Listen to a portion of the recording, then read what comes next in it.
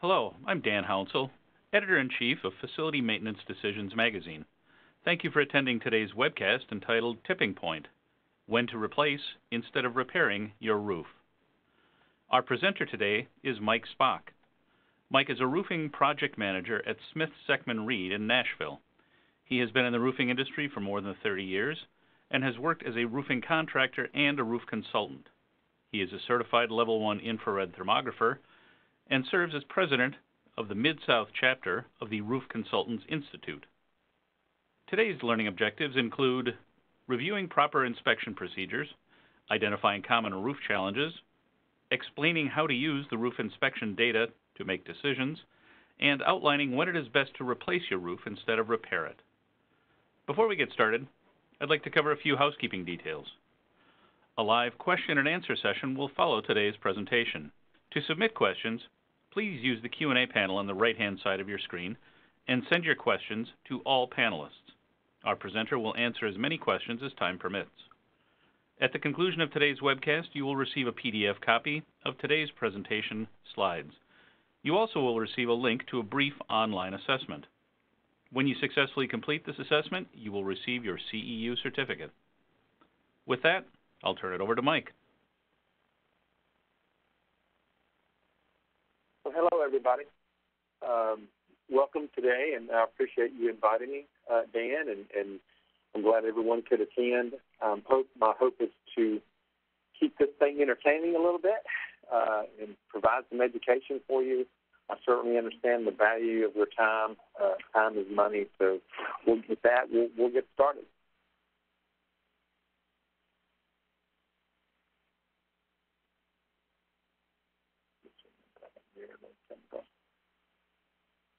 Okay.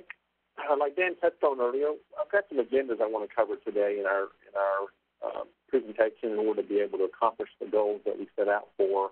We'll talk a little bit about roof inspection and asset management. Those are very important assets when you try to figure out, you know, do I make a decision on this? You have to be able to get accurate information. So we're going to talk a little bit about that. We're going to look at the associated costs uh, typical cost of repairing the system, typical cost of replacing the system, and how that system um, and economical works. Is it, is it wise to do that? Is it not? Uh, we're going to take a look at the decision-making process of actually moving forward to decide to replace a roof or to repair a roof. Either one of those decisions have to be made based on upon information. So, in introduction, you know, when do you replace instead of repairing your roof? That information is based on decisions. Any decision you make in life, whether or not you're buying a car, buying a house, buying a piece of machinery, changing the carpet in a building, changing the light, everything is based upon information. And for the lack, I mean, for the for this presentation, we're going to call information data points. And there are four of them that we're going to look at today that help you make this decision. Uh, of course, the most educated you are, uh, the better decision you can make. Therefore, I'm a firm believer that knowledge slash information, in this case we're going to call information data, is essential. Uh, when, the, when deciding uh, whether to keep uh, your roof or replace your roof system, The condition of a roof is critical to the operation of a commercial roof. Being facility managers, I'm sure you understand that. If your roof is leaking, it's causing you trouble. It's causing you pain. If you're in a healthcare environment, it's affecting the quality of care. If you're in a production environment, it may be affecting the production that you have. You may have to shut lines down. If you're in a process facility and it's causing uh, leaks, you've got problems. So definitely the condition of your system is real important when you're making these decisions. We all understand, too, that ensuring the performance of your roof extends the value of your roof asset. Now, over the years, it's become more and more prevalent in the roofing industry as facility owners understand the importance of maintenance. For many, many years, maintenance was just sort of something that we did when we had to. and at least we addressed it. We didn't do any routine or preventive maintenance. But over time, uh, I believe I'm seeing more of a trend in that occurring as people realize the value of doing maintenance. And we'll talk a little bit about that today. Before we get into that, let's touch on roof inspections. We're going to look at when to do your roof inspection, how to do your roof inspection. We're also going to look at what that information that you get back from that roof inspection tells you. What does it tell you about your life cycle of the roof? Where are things at? What does it mean? Fact one, this is an industry fact for you. A comprehensive roof inspection program is an essential tool to extending the service life of any roof system. And that's regardless of the system, EPDMs, plastic, single plies, modified, steel cups, metal roofs, the same thing. A comprehensive inspection is going to make sure that you stay on top of your roof. You understand what's going on with your roof before major things happen. What does comprehensive mean? Well, in the industry terms, comprehensive has three components. One, it's a thorough inspection, not just, hey, I walked on the roof today, it looks okay, I think. No, it's more than that. It's a thorough inspection. It's a periodic inspection done on a timely basis, uh, and it's performed by trained individuals.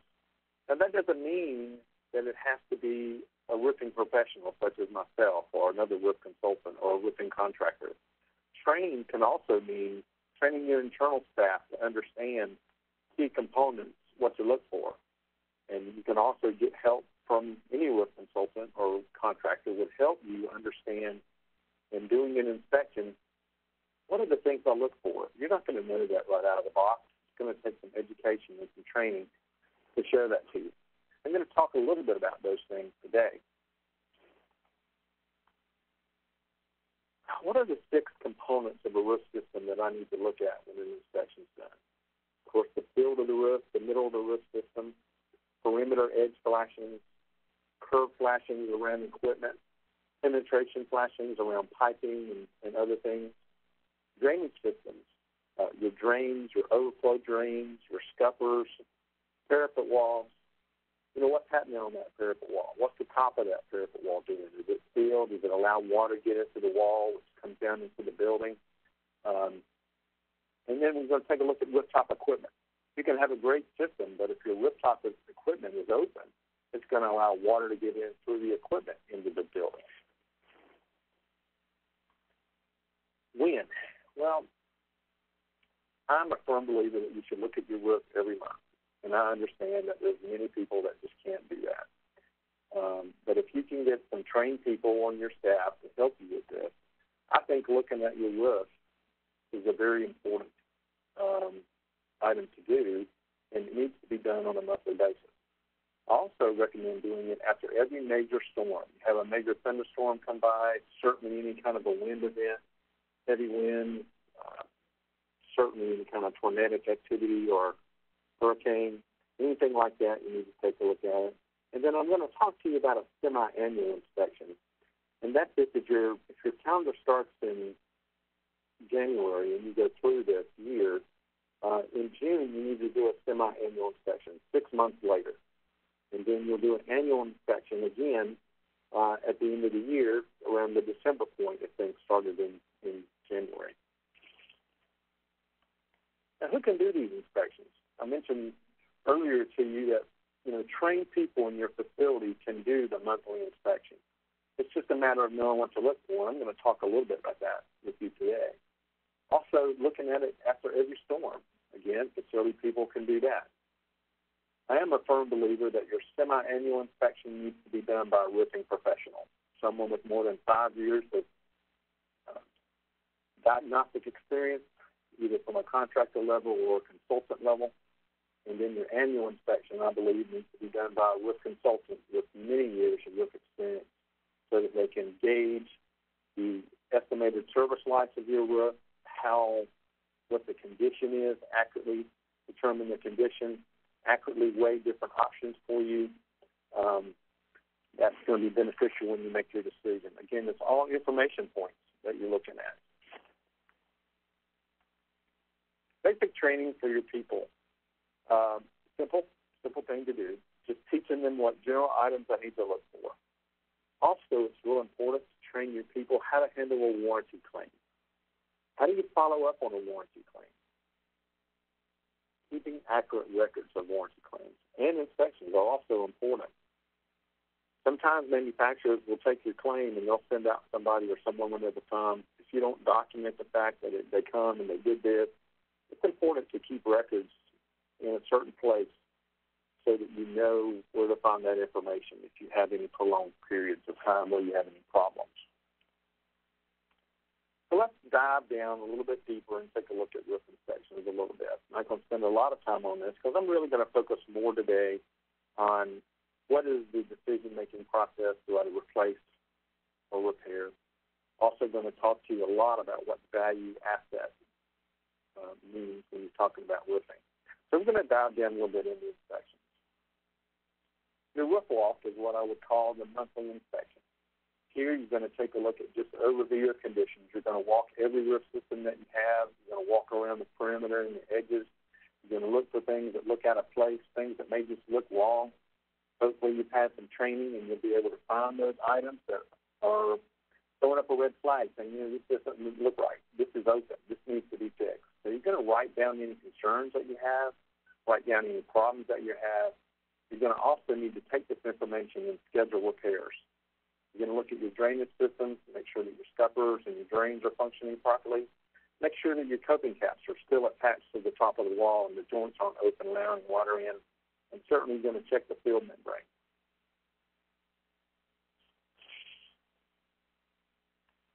Storm walks. You're paying attention to the slide, you'd notice that this is about the same slide as it was before. That's because it really is. So after every storm, you've had an event. Um, something that could have been blown across the roof, damaged the roof system, and if you wait to the next month ends, or maybe you miss a month and come back two months later, um, you could have a different outcome of this.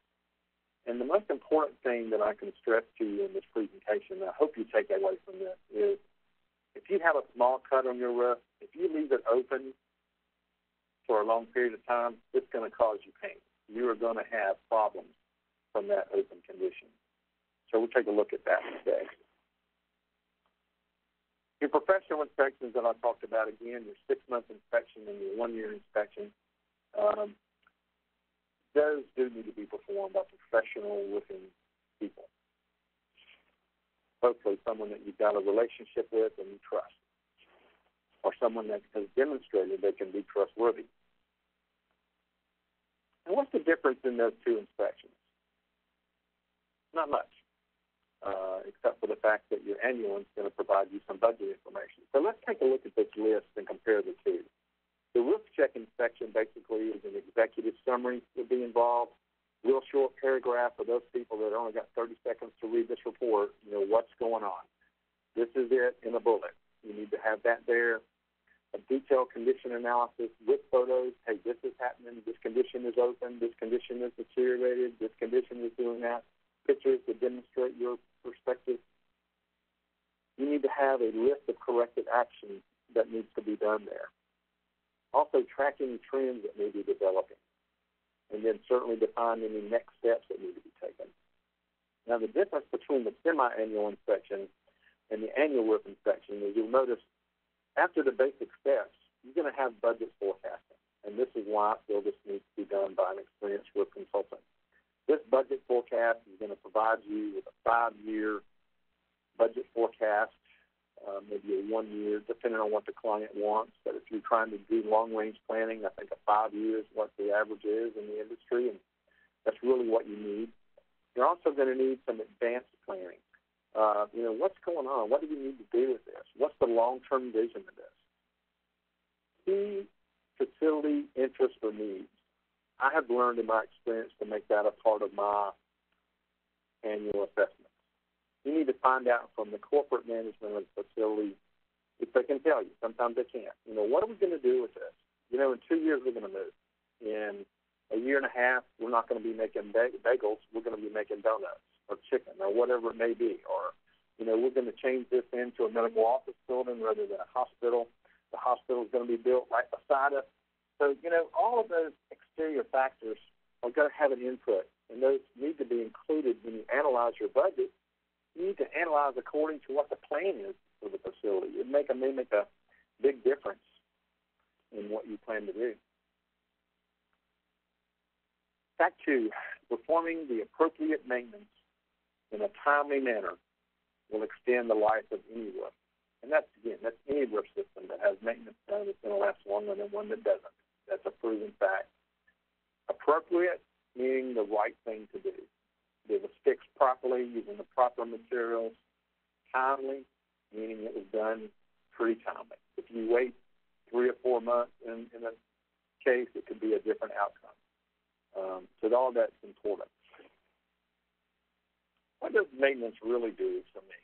Well, here's what it really does for you. This has been proven, and there's thousands of articles on the internet about this.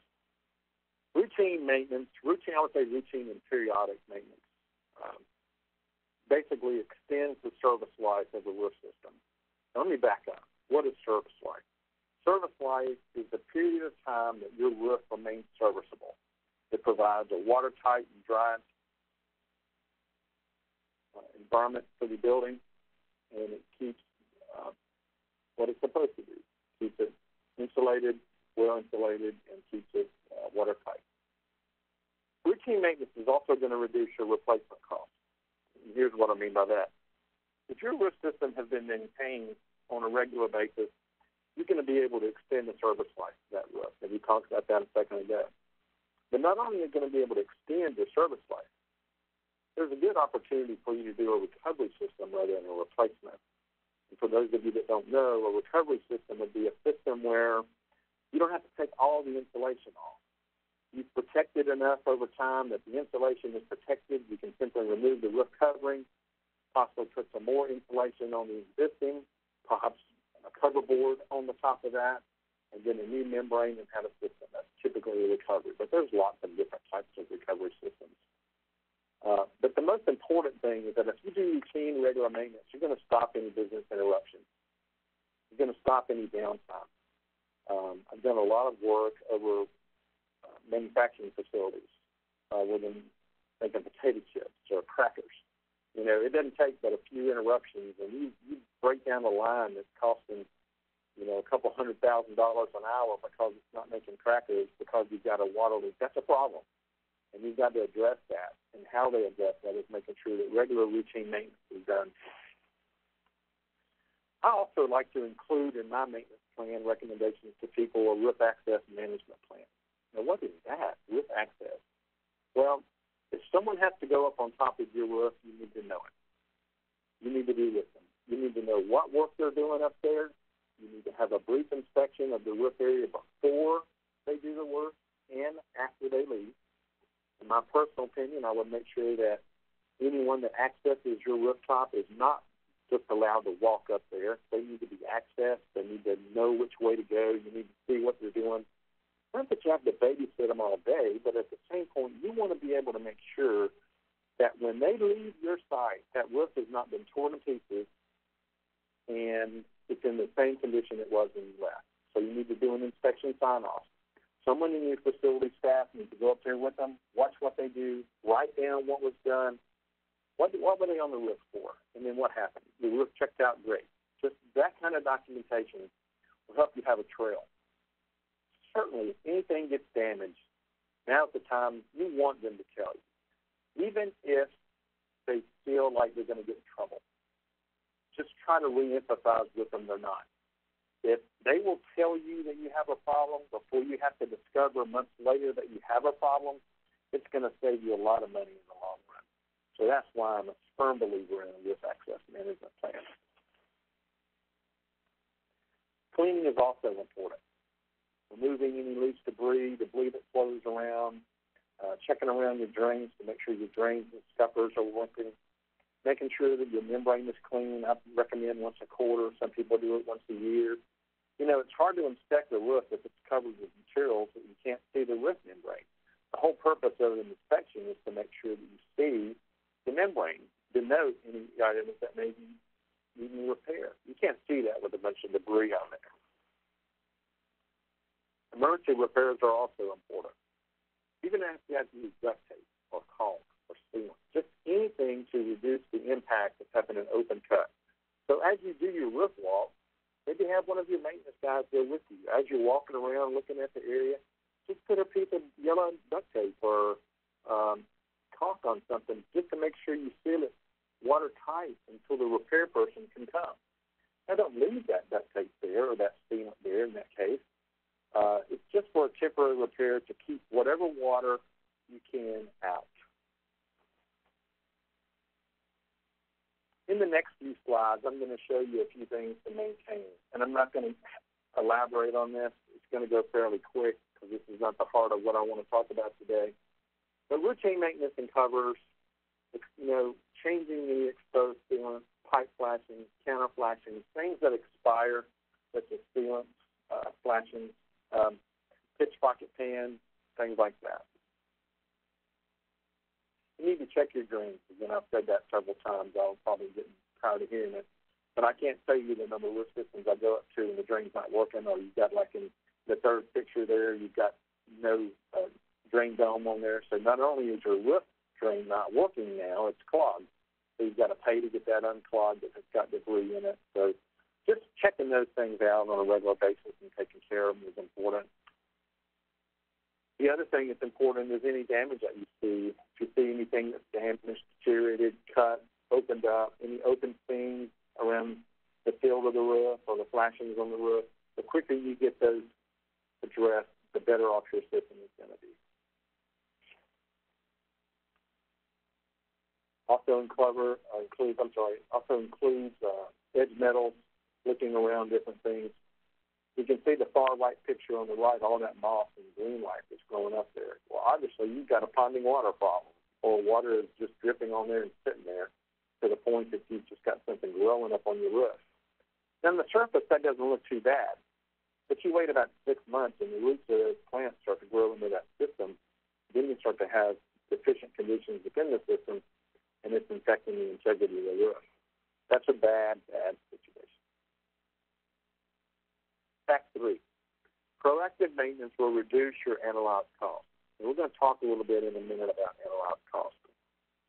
However, on the other hand, inaction will cause you unforeseen, far-reaching consequences.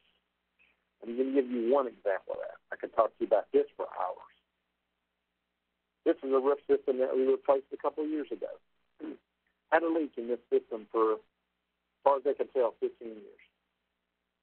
The deck felt a little soft on it, but you can see by the picture here, once we got in there and got involved in this and taking this roof system off, uh, we noticed that the deck was deteriorated. We had planned on it, but you know this is a great way to make your roof project cost you three times as much as you thought you have to start replacing your steel deck because it's been wet for so many years that you've now got to shut that wing of that area down.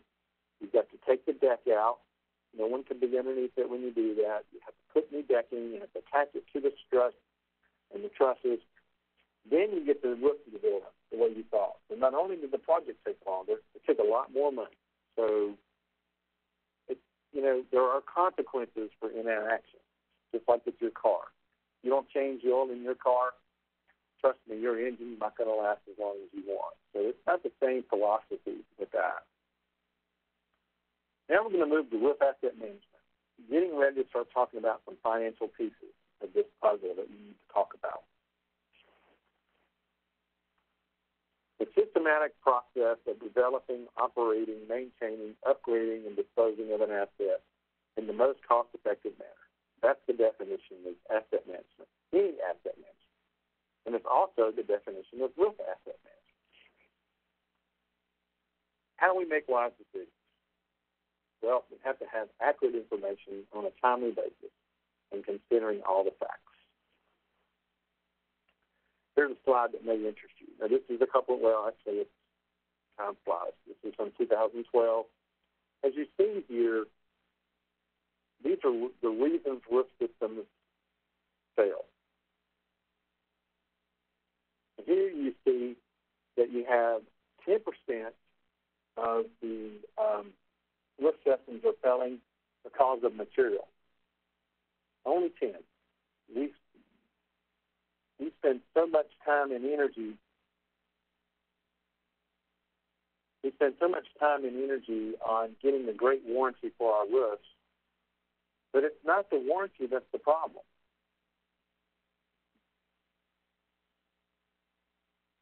And It's not the material rather than it's the problem. However, on the other hand, we can see improper installation. 35% of the roofs that were replaced had to, that failed actually, were because of improper installation. Something that was supposed to last 20 only lasted 10. Also, you can see here where the lack of maintenance, lack of maintenance had about 25% effect. So, unlike what you think, you know, the product failure is not the issue. Nearly 65% of all roofs in the United States are prematurely replaced. This is some of the reasons why. That's a pretty big number when you think about it. That means almost 7 out of 10 roofs are replaced too early. Why is that? Some people just didn't maintain it. Some people didn't know. Some people were misled, thinking that you had to replace it and you could have done another option. There's a lot of options that have to be investigated when you make these decisions. So here's a graph for you. Hopefully this will mean something to you. I'm not an accountant. I'm a roofing guy. But you can look at this depreciated value. Everything depreciates. I have a truck. It's going to depreciate. If it was a company truck, after about three years or five years, the company depreciates that. I get another new truck and ride around. If it's a computer, it's a couple years. It depreciates because the inner workings of a computer doesn't last as long. No difference with your roof system you've made a start out with the value of a roof that's one hundred and fifty six thousand dollars, but in the tenth year, it's ninety percent worth the value. But look at the thirtieth year. Of the thirtieth year, this roof is only thirty percent worth of what you paid for it. So this roof would be forty six thousand nine hundred and fifty one dollars. Now this is a roof system with maintenance this has actually lasted pretty long. The average lifespan in the United States for roof systems is 18 years. This has lasted longer than 18. This is almost 30 years if you get it to last that long. So what would happen on a system that wasn't even maintained? That's what this slide shows. If you have a system that's never maintained, no maintenance is ever done, then your roof depreciates at a quicker rate. Year one, it's 100% at 156,000. Year 10 is at 50% of the value, $78,252 roughly. Now, why am I showing you these slides? Well, it's important for you to always understand the value of your assets. When you start making decisions on whether or not you're going to fix this roof or you're going to replace this roof, you really need to know how old your roof is, how many more years you've got of service life, and what the value is. And we're going to talk more about this in a minute, but just real quickly looking at this slide. Suppose someone comes to you and says, Well, Mike, I can fix this roof for you. It's going to cost you $40,000 and I can get you five more years. Is it worth it? I don't know. The roof is only $31,000. But if I take the look at the 40 and it gives me five, if you divide that by each other, it's costing me about 80 years. So, you know, there are ways to look at that, and we're going to take some more harder looks at that in a minute. So again, what we're talking about here are data points. We're talking about information, and there are four of them that you need to be familiar with. Now we're going to dive into what those are. There are four data points that you need to look at when you're considering any action on your roof. The first is the condition. What is the condition of the current roof? And I think that condition needs to be defined by a professional not by someone who thinks they know roofing or it looks like it's in good shape or it's leaking all the time, it's in terrible shape. Just because a roof system leaks doesn't mean it's in bad shape. It may just need some attention. So condition is important. Cost. What's the cost going to be? The repair cost, the replacement cost? How's this cost going to analyze out? So that's a data point. Another data point is your building use. What's the building being used for? What's it going to be used for in the future? What's it used for right now? Other factors may be what's the relationship in this factor that I'm looking at? This roof compared to other roofs around it. Other factors may be the building, you know, as a company, we've decided to move to Cleveland or wherever it may be. We don't want to be here. We're going to move. Um, I always like to refer to other factors. When I first started doing roofing work years and years ago, we did a lot of work with Walmart. If there's someone from Walmart here, um, I don't mean anything bad by that. But we worked for Walmart, and Walmart had a different philosophy with their buildings.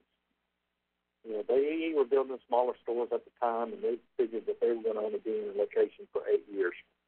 So they really didn't need a lift system that was going to last 30 years. They really only wanted one that was going to last eight to 10. They changed philosophies when they started building bigger boxes, bigger stores, and now they have these huge mega stores, and they want these roof systems to last forever. So now they're looking at 35, 40 year roof systems with ongoing periodic maintenance, annual inspections, semi-annual inspections. So they've had to step up the game to get it to last. So that's just one real-world example of the factors that we're looking at today. Key number one, you need to obtain accurate condition information. In the roofing industry, that's called the RCI, or Roof Condition Index. That needs to be provided by experienced and trained roof professionals. You're seeking non-biased professional information, and you need to remember when you're thinking about this, just because you look at something in June doesn't mean it's going to be the same in July. I mean, it's not July, but actually, you know, let's look past the weather cycle. So if you look at something in June and it comes to weather and you have a hard winter, then the same condition that you looked at in June is not going to be the same condition you had in, in January. So you need to remember weather cycles and timeliness of this information is very important. The second key you need to remember is you've got to get accurate cost information. Our, this is called the RCI, a Recommended Corrective Action. Got an A there. A lot of acronyms, and you don't have to remember all this for now. Um, but again, this information is provided to you by an experienced and trained professional who knows budgets, knows roof systems, knows options, knows what options are going to take and cost. Again, you're looking for a non-biased professional opinion, um, not from necessarily a contractor that's going to come in and give you a price because they have something at heart that they're wanting. Make sure that whatever they're recommending is justified by the photos that you see in the inspection report. You need to understand that what they're telling you is accurate. So you want an accurate cost to repair, to replace, or to recover your system so you can analyze the cost. The third information you're trying to seek is long-term building information. What's the building plan? What's the company plan? Changing operations. And sometimes we don't know what's going to happen in the future. Sometimes we do know, and sometimes only certain people know, and they don't want to share that information. I can appreciate that, but at the same point, when you're making long-term million dollar decisions here on some buildings, you need to make sure you have the information. I have been in situations where I have seen a company spend the money to replace an entire roof system on a building, and then they abandon the building. The building sat there for eight months before it was ever bought, purchased. So, you know, building use is an important factor that we need to consider. So these four things, it's hard to say one is more important than the other because they're interrelational. They relate to each other, the cost, you know, the condition, all those things have to do with each other. Sort of like a balloon. If you squeeze on one end of the balloon, the air goes to the other side. That may be what this decision is like. Let me give you an example of what I'm talking about. You have your roof inspected and it comes back in the RCI, your condition is determined to be poor your roof system is in bad shape. Too bad, it means worse. Well, what does it mean? Well, it's determined that if you spend a little bit of cost, you can improve the condition. Spend a little bit of cost, you can extend your service life from poor to good with very reasonable amount of effort. And yeah, that would be a yes. That would be a good investment, low cost, good investment, good return, that makes that makes good decision. I'm going to move that direction. Now, what happens in the same situation if the cost is large? If it's a larger cost, and but you're taking you're still taking it from poor to good. But what if it's more than reasonable of the cost amount? And I'm going to go through cost in detail in a second, but this is more philosophy of what happens. So you take your current situation, you spend a lot of cost, you get a little bit of improvement. Is it worth it? Maybe not. Maybe so.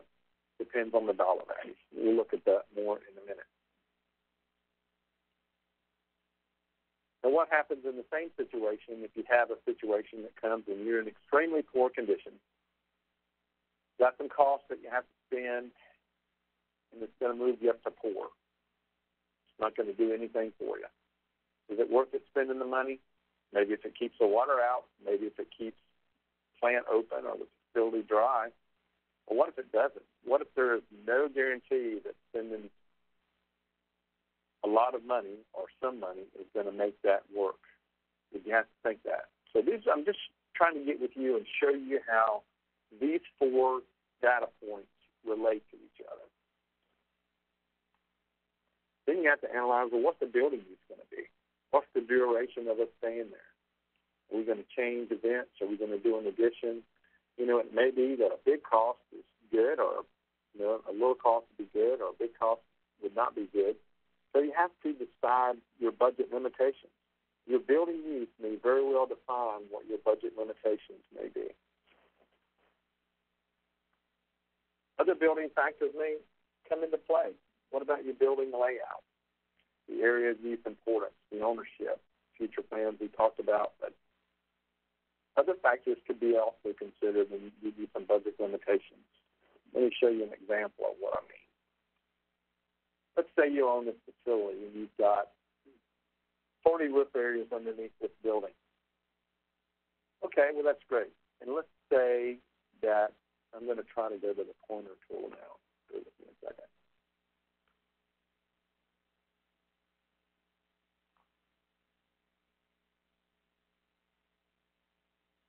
Let's say that this roof area right here is in bad shape. It's got to be replaced. Well, okay, but this roof area right here is in not quite a bad shape. It doesn't really need to be replaced this year. But the only way you can get around the facility is to cause you pain and trouble. You know, you've got one access area, or let's say it's even this other little area. Does it make sense to replace just that small area by itself when maybe you should get some that are in relatively similar or close to similar conditions? Get more for your money by doing a larger project? that may make a difference. Or let's say you're up here. You're on top of this building. This is a 15-story tower, and you have a 16-story mechanical room that goes the full length of the building, but yet you have to replace the 16th story, and the 15th story is in fairly condition, but um, it's going to be real expensive to go up and replace that 16-story tower. A lot of equipment costs, a lot of manpower costs, it may be more economical for you to do both of those areas at the same time. So now I'm going to try to turn this tool off after I delete.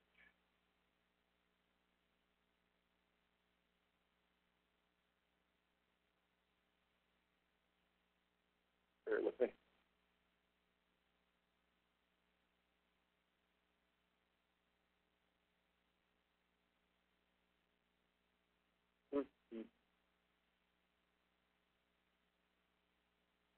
oh man, I was afraid this was going to happen. Okay.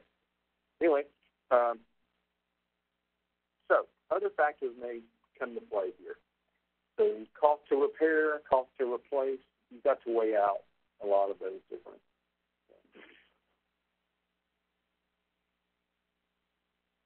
From a professional engineer or with consultant, so to speak, you're going to get a five-year budget forecast in this five-year budget forecast, this is typical of, of the information that you would get.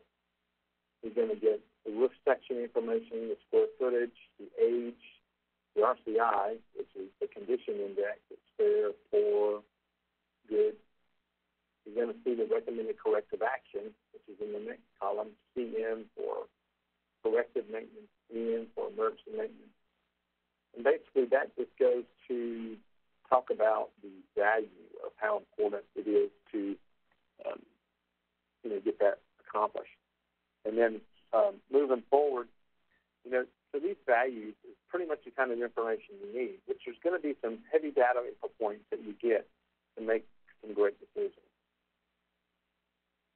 So here are some theoretical costs I want to look at. Again, I don't want to spend a lot of time on this, but we are trying to look. The cost to remove and replace the roof, cost to recover compared to replacement, and the cost to maintain the existing roof system. This is a table that pretty much shows you the cost of different roof systems, different styles, EPDM systems compared to TPO systems, the PVC systems. You can see the average cost and what you may need. This may be driven by energy code. It may be driven by protection. It may be driven by desire. So you can see here, and if it's a tear-off situation, you've got additional labor there. You've got disposal rates. You've got different staging, and then you have regular installation labor. So here, a typical roof system could cost you anywhere from fourteen twenty-five to twenty-three fifty-nine, depending on the system. And this can be greatly defined based upon your needs and the needs of the area. So this is just some thumbnail kind of numbers to help you start thinking about this. Okay? Now we're going to compare the cost to replace a roof compared to the cost to recover a roof. We talked about the importance of maintenance and how important those maintenance are. Um, you can see here that the cost to recover a roof system is much less than the cost to replace one. The bottom numbers are recover system, meaning that you do not have the tear-off labor is less, system labor is less, the equipment is less, you're taking off less, you're not going to the dump. So you can take a roof that would cost you eleven dollars and twenty five cents brand new to replace it. You could actually get it for five fifty to recover it. Again, these are just the general ballpark numbers that I want you to be aware of. So, for our purposes today, we're going to look at some prices for average systems. I'm just going to pull the very second one over from the right, 950 we're going to say, okay, this is what we're looking at, the cost to deal with this. It's a 16,474 square foot roof. I'm going to need to replace it. I can get it done for 950 so that's the value that we're looking at today. Let's say that this is your building layout. Basically, you can see how it is. 16 areas B, the larger area. Two systems you're going to look at today. So now let's take a look at life cycle costs. What that means is how long, how much is this roof going to cost me over time? So the original gauge of the analyzed cost would be, all right, if I replace this roof system and it cost me $23,339 for the small area at the top, I'm going to divide that by the period of time or the length that I want that roof to last. And that's going to cost me about $1,216 every single year. Now, what if that roof only costs last for 12 years. Well, that roof is going to end up costing me about $2,028 a year. But what if I can extend it through maintenance? Well, goodness, now that roof only costs me $973 a year. Well, let's say I did 30 years, did a lot of maintenance. Then that's going to cost me 811 So there's value to maintenance. The annualized cost is decreased, and you can get a gauge for helping you understand what the value of your roof is compared to what it may cost you to repair. So let's take a look at it again. All right, let's look at this. This is the lower area. Now we're going to factor in maintenance costs because you're right. Maintenance is going to cost you money. You can't get maintenance done for nothing. So, yes, you take the same scenario, 12, 25, and 30 years, and you look at that, and you look at what my average maintenance cost is going to be. So if you take the average price there and the average maintenance per year prices, and this is there. Again, these are just estimates based upon average conditions in the industry. Let's say that it costs you two hundred and fifty-six dollars and twenty cents for maintenance for that thing, but it provides four years worth of protection. Then it's going to extend that value, so my total cost is less.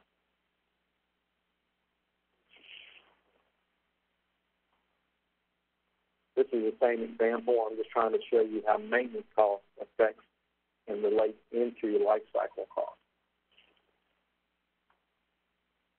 So making the hard decision. We're turning the corner on this thing. Let's help you make some decisions.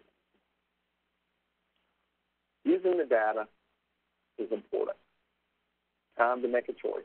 The data's in. Let's take a look at things.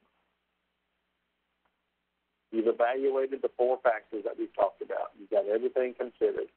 You understand that your reported SCL, ESL rather, there was your expected service life is only a year. If repaired it, the system is going to cost you nine hundred and seventy-eight thousand dollars. I'm sorry, nineteen thousand seven hundred sixty-eight dollars. and it's going to give you eight years of life. Is that worth it? I don't know. Let's look at it. Okay.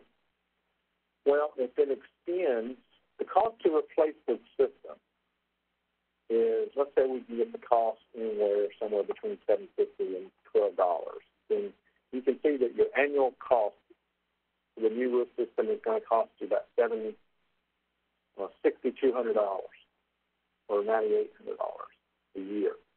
But let's say you can get for the nineteen thousand dollars, you can get six years worth of extended life. So you divide the nineteen seven sixty eight by six, then that tells you that the cost of the roof is then thirty two ninety four. So the thirty two ninety four is less than the sixty two hundred. So it's less money to repair the roof to get you six more years than it is to buy a new roof and amortize that across the span. So hopefully this is all making sense to you in evaluating cost. What you're doing is you're evaluating the cost of your existing roof, how much it's going to take you to do a new roof, and how much the maintenance is going to be. So we're running up on time, so I'm going to try to treat that.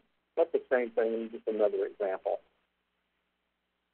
You know, sometimes it's not going to be worth it to do it, like in this case the you know it's not going to give you much. It's only going to give you one or two years of extended period.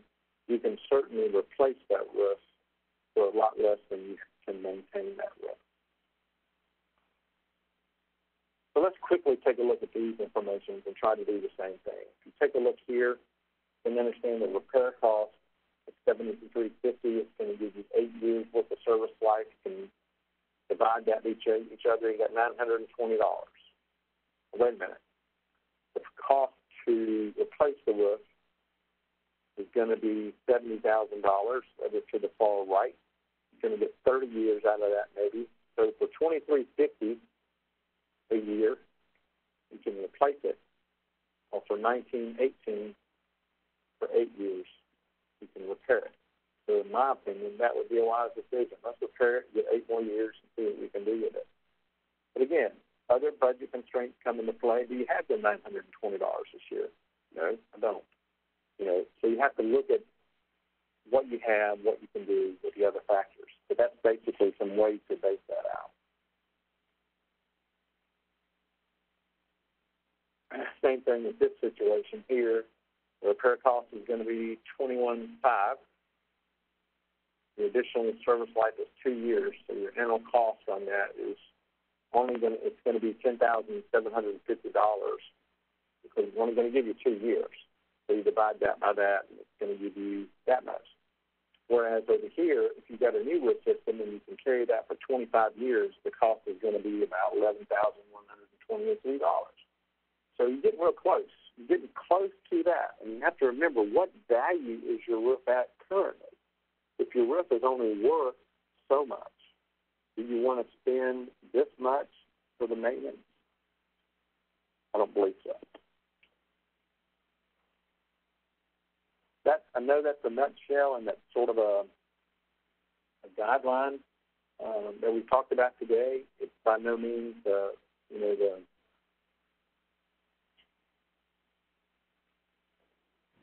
the bottom. I mean, I guess what I'm trying to say it's not the bottom line. There can be other things that go into it, but I'm ready for questions um, on that. All right. Um, so I guess um, I need to go in and make the presenter. Okay. Um, so just a reminder to attendees to uh, use the Q&A panel on the right-hand side of your screen and address your questions to all panelists. Um, Mike, a question about um, infrared training. I know you have a lot of experience with that. I wonder if you could talk a little bit about the role of infrared these days in the inspection process and, and maybe a little bit of information about when it's most useful and, and whether there's anything attendees should sure. know about the latest generation of infrared imaging systems. Right. Um, again, I have been doing roofing for a long, long time. I am a certified infrared thermographer. I believe that an accurate infrared has to be done from the roof line. Now, I've had discussions uh, with other people saying that you can do an aerial infrared with drones, but the problem is you're not down on the roof. I believe that you really, in order to do it properly, you have to be down on the roof in an accurate stated position, there's so many things that can affect the infrared. It's so sensitive. The air in the space between the height of the drone type and the roof type, you know, can affect it. But infrared itself can be very useful in determining, man, how much water is in this roof system. Maybe I can recover this. I mean, you can spend very little to get your roof an infrared survey done and save yourself a lot of money. If you determine that there's not a lot of web insulation and that the insulation is in pretty good shape, you can recover that system. So I believe that it is the best tool in the industry to confirm whether or not you have water in a roof system. There are other means, but in my opinion, it's the most accurate. Now, there are exceptions to that. If you have a ballasted roof system, it's not going to be so good.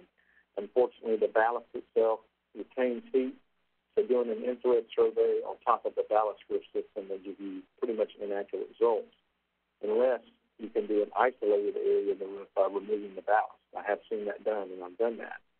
Slide the ballast over, let it sit, come back and do a survey there, and get an accurate result because the ballast itself retains heat and actually will give you a false reading. Okay, we have a question from an attendee who um, is referring to part of your presentation where you uh, discussed depreciation. He's wondering if you can touch on depreciation a little bit more, primarily the value over a period of time, and, and is there a percentage scale that uh, one can use in this situation? Uh, I'm going to try to go back to that slide. Uh,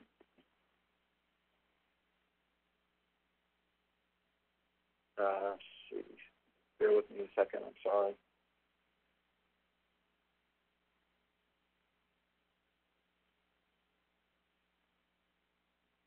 Bear with me while I scroll back up there because I do think that's some pretty good conversation points. Now, roof systems depreciate. Now, this is an average an average industry study. Uh, this is based on all systems, all applications, all processes.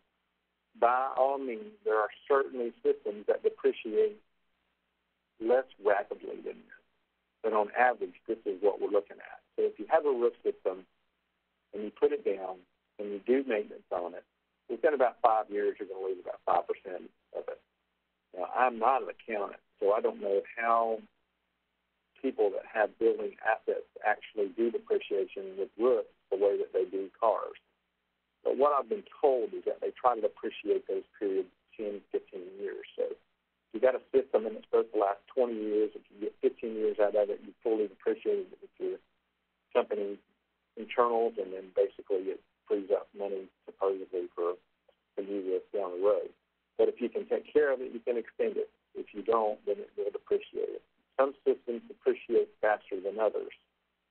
If you take, for example, a high-end PVC roof system, um, maybe like a FiberTite system, for example. I'm not trying to advertise for people, but just the fact they are one of the best industries in the sheets in the industry.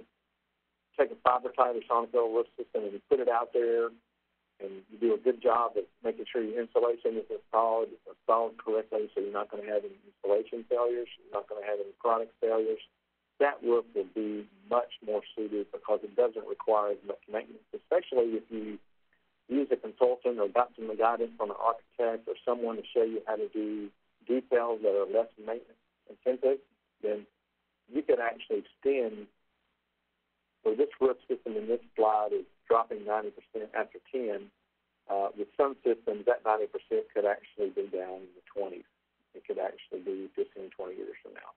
So it just depends on the system. Whereas if you use a different sheet that does not have such a performance record, and I'm not going to say any names there, but if you use that sheet and you go out with that sheet and you don't take very good care of putting it down and make sure it was done right, and you don't watch the crew when they're installing it, you have no quality control when it goes in.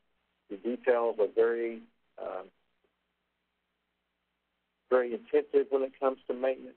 You use the wrong system on the wrong roof. Um, I've seen roof systems that depreciated far quicker than this one. Um, I've seen roof systems that failed after 12, which is very, very sad. I don't know if that answers the question. Please indicate if it did or didn't, but I'm hoping that I addressed your depreciation question. All right. Um, question here from an attendee about um, training, and in particular for um, in-house folks uh, who would like to, managers, attendees who would like to conduct inspections using their in-house staff. Are there any particular training sources that you would recommend? Uh, and obviously on the low cost or no cost end of things is sure. always appreciated. Yeah. Uh, there's a couple of sources that I would recommend right off the bat. Um, number one, the first source would be the NRCA. Uh, NRCA has some great published materials for different systems and different maintenance and different things to look for during an inspection. I would strongly recommend that you start there. Uh, the next leg of that would be I would have a roof consultant um, of an experience level come in and give yourself maybe a lunch and learn kind of uh, two hour session uh, where we can walk you through the key things to look for. That way you know. And it's, it's uh, very simple, very easy to document. We can bring in some inspection tools that we use, like sheets and things like that, where you know you can track down what you need. And most consultants can do those types of issues, but I would strongly recommend that you do that. Another way to approach that avenue would be your system manufacturer will also have their manufacturer's rep come out sometimes and walk you through what to look for in your monthly inspections. That too would be very helpful, and sometimes they do that at no cost. So you've got the books from NRCA, you've got possibly a resource from the manufacturer, and you've got outside risk consultants that can that would be happy to help you with that. All right, an attendee's asking a follow-up question on infrared inspections, um, and you may have touched on some of this, but what are the best conditions for infrared inspections at the roof level, in particular the time of day, the weather, whatever the factors might be? I'm a uh, old school infrared person, meaning that I know there are new technologies out there. I have seen cameras that say that you can use them during the day. Have seen technology that says that you can do it any time of the day. I don't necessarily agree with that the most important time to do an infrared survey, the most accurate time to do an infrared survey is going to be one hour after sunset. The purpose of an infrared survey is to try to capture the thermal difference between water that's entrapped in the roof and the roof system surrounding it itself. During the day, the sun will pull on that water just like if it was on the ground. The water is going to have a tendency to try to evaporate. It's going to heat up at a temperature a lot higher than the field insulation around that area. That insulation is, I mean, I'm sorry, the water is hot, so it's at a different degree of temperature than the surrounding insulation. One hour after sunset, when the thermal plane shifts and um, it's dark, the heat's gone down, the temperature of the roof insulation itself after about an hour to an hour and a half.